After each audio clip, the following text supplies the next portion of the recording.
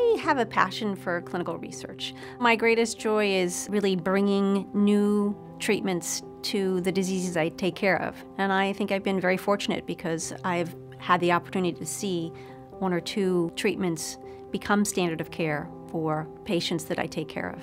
I'm a medical oncologist and I take care of patients with sarcomas and gastrointestinal stromal tumors. I serve as the Associate Director for Clinical Research and um, currently serve as the Physician Director for the Clinical Trials Office. For taking care of patients with sarcoma, it's really important for us to meet as a multidisciplinary team. On our team, we have radiation oncologists, surgeons, orthopedic surgeons, pathologists, medical oncologists, and radiologists. And what we do is we look at each case from all those perspectives. What does the imaging look like? What kind of therapy works best? Working as a team, we can come up with the best plan because each case is unique and individual to you. In sarcoma, we're talking about 60 different types of tumors um, with different biology. We have to respect that each individual tumor has its own biology. And clinical trials allow us to be able to test individual therapies for individual tumors.